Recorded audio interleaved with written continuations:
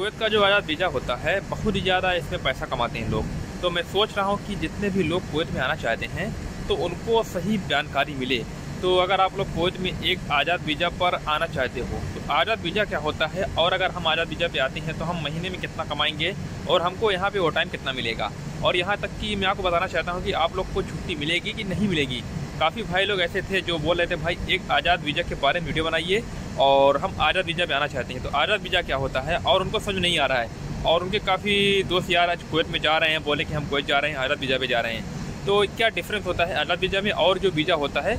और क्या यानी कि आपको पूरा मैं क्लियर करने वाला हूँ, जैसे कि कई तरीके से वीज़ा होता है यहाँ पे। मैं आपको बताना चाहता हूँ कि बहुत से लोग ऐसे हैं जो आज़ाद वीज़ा पे काम करते हैं, बहुत से ऐसे लोग हैं जो यहाँ पे कंपनी में काम करते हैं। कंपनी का जो वीज़ा होता है, उसको क्या बोलते हैं? और अगर आप लोग कहीं मजरा में काम करना चाहते हो या आप लोग कहीं आउट एरिया में यहाँ पे बहुत ऐसा एरिया है, जैसे कि बोलते हैं वफरा, खैरवान अबदरी, बहुत सा एरिया वहाँ पे हमारे भाई लोग बहुत ही कम, यानी कि टू परसेंट लोग काम करते हैं हमारे इंडिया के। तो ऐसा क्या प्रॉब्लम होती है? तो चलिए बात करते हैं एक एक करके। गाय सबसे पहले सभी लोग को मैं एक रिक्वेस्ट करना चाहता हूँ। गाय अगर आप लोग मेरे चैनल पर नहीं तो प्लीज़ सब्सक्राइब कर लेना। वीडियो अच्छा लाइक करना। चलिए बात करते हैं। गायद अगर आप लोग कोच में आते हो जैसे कि काफ़ी भाई लोगों का सपना रहता है कि भाई हम कोच में जाएँगे और हम कोच में जाके पैसा कमाएँगे।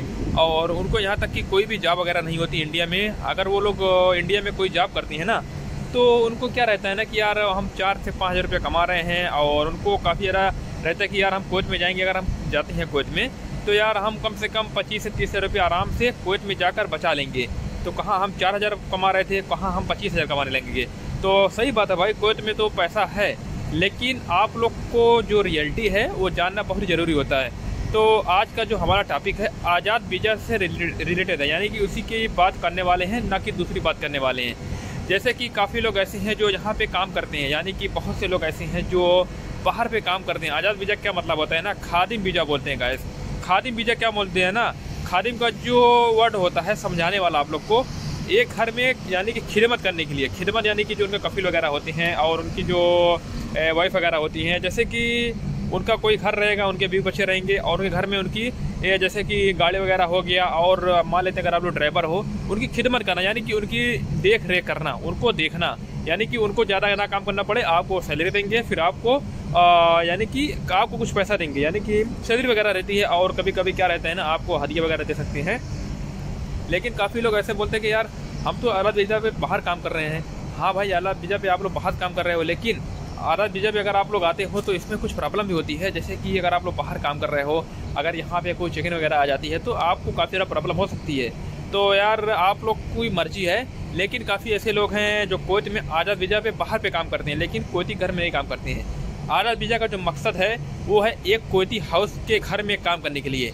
आप लोग कोच हाउस में काम कर सकते हो, लेकिन यहाँ कोच में क्या है ना, बहुत से लोग ऐसे हैं जो बाहर पे काम करते हैं। लेकिन पुलिस को पता चलता है कि भाई यहाँ पे जो कोच में है, लोग बाहर पे काम करते हैं। लेकिन अगर आप लोग काम करने के टाइम पकड़े जाओगे ना, आप लोग को सीधा इंडिया भेज दिया जाएगा, आप लोगों को कोई भी रोक नहीं पाएगा। क्योंकि यार, यहाँ पे जो वीज़ा होता है, जैसे कि कोई बंदा कंपनी में काम करता है, और मान लेते हैं ये कंपनी है, मेरे पीछे कंपनी है, और यहाँ पे जो बंदे काम करते हैं दस बंदे काम कर रहे हैं, उसमें से आठ बंदे जो जिनवन है, यानी कि वो कंपनी का वीज़ा है, सब कुछ एकदम परफेक्ट है। लेकिन दो बंदे ऐसे हैं जिनका वीज़ा यहाँ का नहीं है। मान लेते हैं यहाँ पे कोई चेकिन आ गई, बलदिया वाले आ गए हैं या कोई चेकिन वाले, यानी कि सिविल आई चेक करने के लिए। पूरा हम चेक करेंगे, देखेंगे कंपनी का नाम क्या है, फलाना फलाना फलाना। और फिर उसके बाद देखेंगे वीज़ा पर जो पीछा, जो पीछे लिखा रहता है ना सिविल आई पे, आपको पूरा डिटेल में लिखा रहता है। पहले लिखा रहेगा आपकी जो बहरहाल डिटेल लिखी रहती है, फिर उसके बाद वहाँ पीछे आपका फ्यूल आई देखेंगे। उस पर क्या लिखा रहेगा? आपका जो कंपनी है, उस पर क्या नाम लिखा है कि नहीं लिखा है? कि आप ऐसे ही काम कर रहे हो किसी भी जगह? अगर मान लेते हैं आपकी कंपनी का नाम, आपके वीज़ा, पासपोर्ट उस पर लिखा है, सिविल आई पे। तो आप लोग बच सकते हो। लेकिन अगर आपका नाम कुछ फ़र्क हुआ, यानी कि बहुत से लोग ऐसे हैं जो खादिम वीज़ा होते हैं। खादिम वीज़ा क्या होता है ना? बीस नंबर का वीज़ा होता है। वो कहीं पे काम कर सकते हैं, कर नहीं सकते हैं, लेकिन उनकी मर्ज़ी है। अगर आप लोग पकड़े जाओगे ना, आपको सीधा इंडिया डिपोर्ट कर दिया जाएगा। भाई, पैसा तो यहाँ पर है। खादिम वीज़ा बहुत से लोग ऐसे हैं जो काम करते हैं अलग अलग कैटेगरी में काम करते हैं, यानी कि बहुत से जगह पर काम करते हैं और अच्छा खासा पैसा भी कमाते हैं भाई। वो आपको, आपकी मर्ज़ी है। बहरहाल, मैं तो इतना कहना चाहता हूँ ना, अगर आप लोग यहाँ पर लॉन्ग टर्म के लिए, यानी कि लॉन्ग लंबे दिन के लिए यहाँ पे काम करना चाहते हो तो आप लोग को सोच समझ करना चाहिए, मैं नहीं बोलने वाला हूँ। लेकिन अगर आप लोग चाहते हो कि यार एक वीडियो ऐसी बनाइए कि हम अगर कोयत आना चाहते हैं, यहाँ पे लंबे टाइम तक काम करना चाहते हैं तो हम कौन वीज़ा पे आएँ?